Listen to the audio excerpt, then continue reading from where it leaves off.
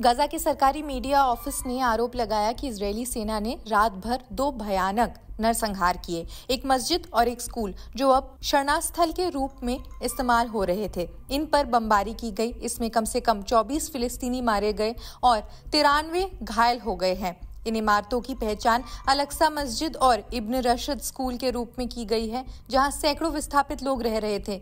Media office के मुताबिक पिछले 48 घंटों में गजापट्टी के अलग अलग हिस्सों में 27 घरों और शरण स्थलों पर हमले किए गए।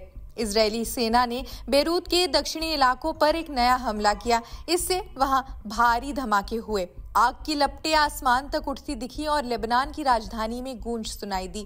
गजा के केंद्रीय हिस्से में अलक्सा अस्पताल के पास एक मस्जिद पर इजरायली हमले में कम से कम 21 फिलिस्तीनी मारे गए। दर्जनों घायल बताए जा रहे हैं।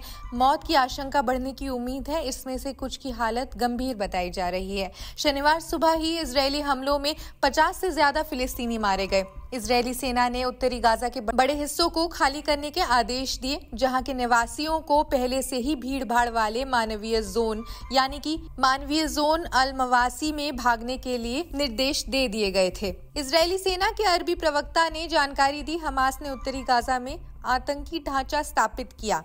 वहाँ की आबादी, शरण स्थलों और स्वास्थ्य सुविधाओं का मानव ढाल के रूप में उपयोग कर रहा है।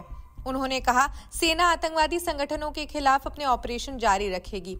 अदराई ने लोगों को खुले मानवीय परिवहन और सेफ़ जोन्स का उपयोग करने की सलाह दी जो राशिद स्ट्रीट समुद्र की ओर और, और सलाहदीन स्ट्रीट की तरफ़ जाते हैं। अब तक के सबसे बड़े हमलों में से एक इसे माना जा रहा है। इजरायली सेना ने बेरूत के दक्षिणी इलाकों में 30 से ज़्यादा हवाई हमले किए। कम से कम 24 फिलिस्तीनी मारे जा चुके हैं, तिरानवे घायल हैं। इसराइल सेना ने एक मस्जिद स्कूल पर हमला किया। इसमें विस्थापित लोग रह रहे थे। इसराइल का दावा है कि मस्जिद और स्कूल का उपयोग हमास द्वारा कमांड और कंट्रोल सेंटर के रूप में किया जा रहा था। संयुक्त राष्ट्र महासचिव एंटोनियो गुटरेस ने भी सभी इसराइली बंदियों की बिना शर्त रिहाई की अपील की और इस क्षेत्र में हिंसा और रक्तपात को समाप्त करने का आग्रह किया। ये घटनाक्रम इसराइल और फिलिस्तीन के बीच लंबे समय से चल रहा है। अब इस संघर्ष में कुछ भी जानकारी सामने आती है। हम आप तक जल्द से जल्द पहुँचाने की कोशिश कर रहे हैं। इस संघर्ष के बीच आम लोग सबसे ज़्यादा पीड़ित हो रहे हैं।